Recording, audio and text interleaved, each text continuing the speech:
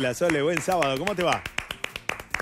Muy bien, muchas gracias. Acá estoy tempranito, van a ver que hay mucha actividad alrededor porque, bueno, con tanto calor está toda la gente en tareas de limpieza y arreglos, etcétera. Hay varios temas para hablar con vos. Primero, buenísimo y te agradecemos que te hayas levantado tan temprano porque me imagino que no es común un sábado madrugar.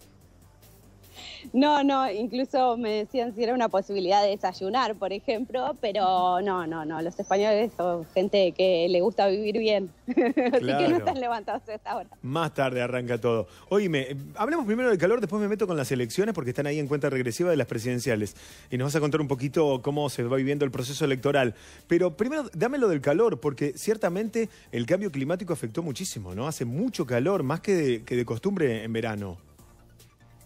Sí, incluso yo estoy en una zona que, no hace generalmente tanto, tanto calor o que se puede pasar mejor y pasé tres días de sentir que te morías y también cambió ciertos horarios de trabajo, como por ejemplo las tareas de limpieza que te contaba, ese tipo de cosas que si gira un poquito, bueno, ahí justo está uno de los camioncitos de limpieza y acá hay un escenario que están desarmando. Yo estoy acá desde las 7 de la mañana y ya estaban trabajando hacía rato.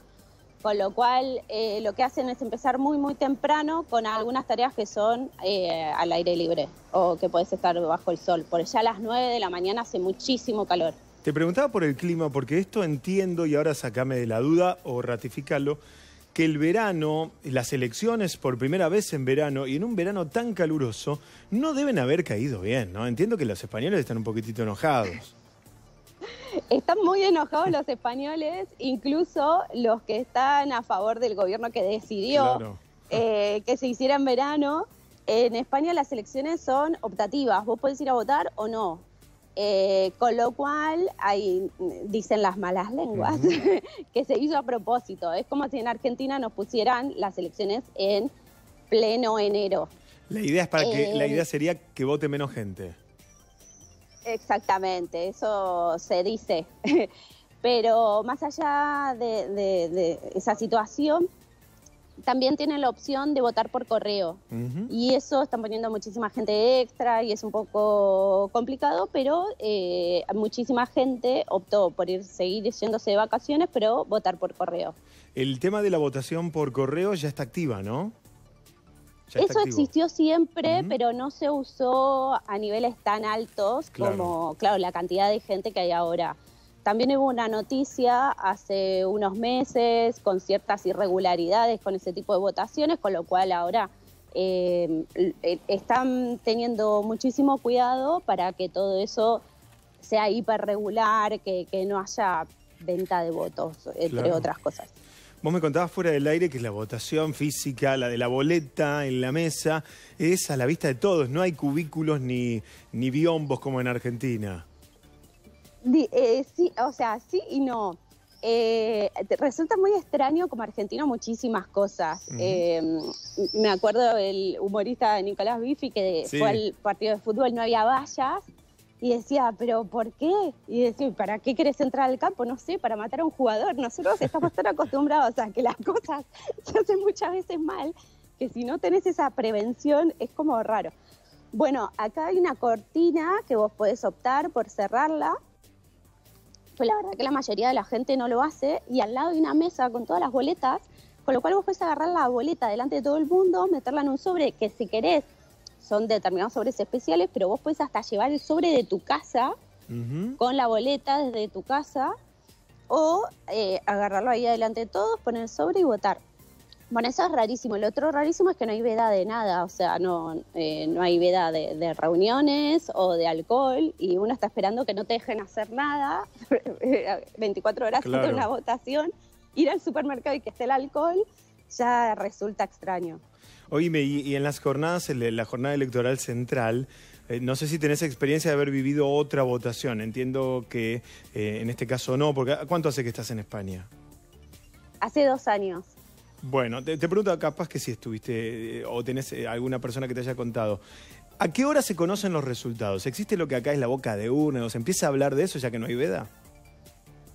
Eh, sí, se va hablando, pero de todas formas eh, no tengo mucha experiencia en esa parte, pero me da la sensación que todo es mucho más relajado, que no, no hay tantas restricciones como, como puede haber en, en Argentina. Sí, el hecho de, la novedad... En el lugar de votación te están viendo a quién, a quién votás, nada. Claro, claro, claro. No, además, este, por sentido común, pienso que si no hay veda, tampoco tendría sentido esto de la boca de urna. al no haber veda. Si hay veda de no pueden hacer em, actos políticos. Claro, la campaña termina. eso es igual. La campaña, termina. Termina en un punto y a partir de ahí ya es lo que la gente vote. Pero, y respecto a la. Lo que voy es a la veda de la gente. El contarlo entre ellos. De, vos si querés eh, podés estar cantando en la puerta por un partido que sos vos, no, no es que es el político. Claro, claro. Che, bueno, te saco de las elecciones y visitemos un poquito el lugar en el que estás. ¿Nos mostrás un poco dónde estás ahora? Bueno, empecé, estamos en Murcia, como, como empecé por la Catedral de Murcia, que es como la imagen más característica de la ciudad y es una obra del barroco súper, súper famosa en el mundo, con lo cual si estudias historia del arte o arquitectura, lo que sea, vas a estudiar la Catedral de Murcia, que es esta. Eh, ahora ven que hay un escenario que, como les contaba, le estaban desarmando, porque esto de noche está todo iluminado y suele ser el fondo característico de la ciudad. Eh, es una catedral que tardó muchísimo tiempo en hacerse, con lo cual adentro tiene otros estilos incluso, pero es bellísima. Y después tenemos por acá el Palacio mm, eh, Episcopal, que, mm, bueno, acá vive el obispo de, de la región. Y acá tenemos el ayuntamiento, que como ven es como muy... Mm, que no tiene nada, y justamente fue así pensando en que es una reverencia a la catedral, que la tenemos enfrente. Que no llame la atención. que no llame la atención, pero también está como, como rindiéndole homenaje de alguna forma. Y si ven las columnas que tienen una forma muy rara, que están todas en distintos niveles, es porque está hecho de manera tal que de adentro vea siempre la fachada de la catedral. No ah, sé si estoy mareando, pero está acá. Qué espectacular. Oye, quédate, quédate en este plano, con la catedral de fondo y ese escenario a medio de desarmar. Esto significa que ayer a la noche, porque vos estás allá a las 7 de la mañana, 44 minutos, es decir, la noche del viernes, con una temperatura, me imagino, de 20 y pico de grados, tuvo un evento. No. ¿No? ¿Qué temperatura tuvieron? No, anoche Anoche, si no me equivoco, hacía 35. Ay, Dios mío. Bueno, más a mi favor. Entiendo que ayer a la noche eso se explotó. Entiendo que la noche de ayer con 30 y pico de grados, un show ahí en vivo, eso debe ser también un polo gastronómico de salida, ¿no? Bueno, del otro lado, si querés me muevo un poquito. Sí, dale, dale, vamos con vos. Son todos, todos bares. de noche estos son todos mesas, todas terrazas. Todo, todo, todo mesas, lleno, lleno de mesas entonces, eh, podés estar, no solamente en general, acá ponen sillas muchas veces, eh, pero podés estar ahí o podés estar tomándote una cervecita en, el bar y ver el espectáculo. No sé qué hicieron anoche, pero acá hubo desde bandas hasta desfile, lo que se te ocurra. Que pone una pasarela en el medio, de todo. Muchísimos oh, eh, eventos y shows. Qué buena onda. Hoy me viviste la pandemia allá. Eh, ya casi te diría al final, porque yo llegué en junio del, eh, 2021. Del 2021, claro, la salida. Así que, claro, fue la final, la, exactamente, la salida. De todas formas, cuando llegué, eh, todavía, yo vine justo en el cruce que todavía no habían empezado a vacunar en Argentina y acá ya había mucha vacunación.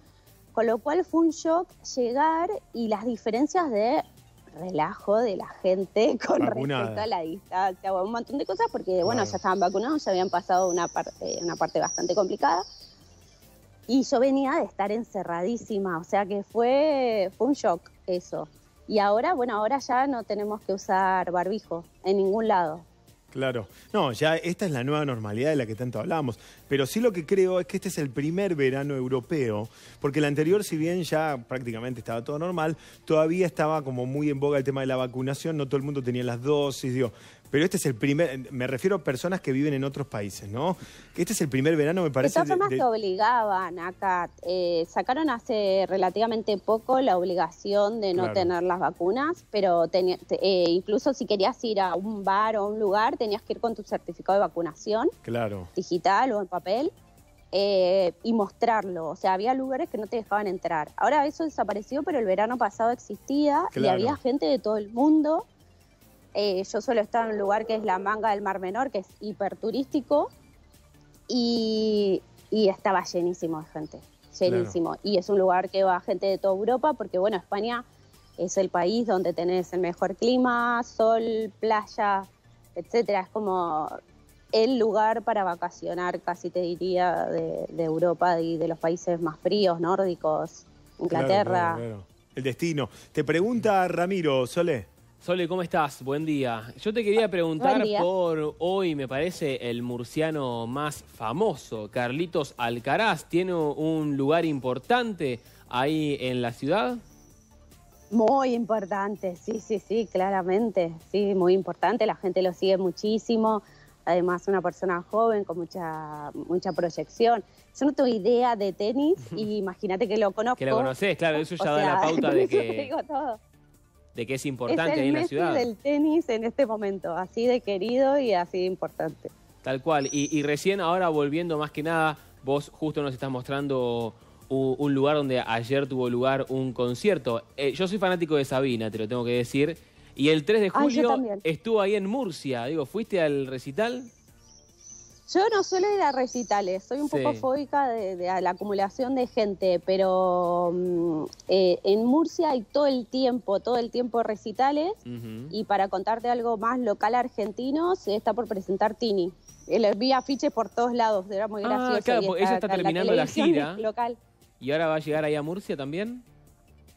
Sí, sí, sí, sí. Acá salía en la televisión local de Murciana, en eh, afiches por todos lados. Es muy gracioso porque, no sé, sentís que, que es una prima, ¿viste? Cuando ves otros argentinos, te pasa eso. Y eso, ¿y te pasa seguido que ves argentinos, no sé, por la calle? Porque obviamente nosotros tenemos como una, especie de escáner, nos reconocemos eh, eh, en el mundo al toque enseguida.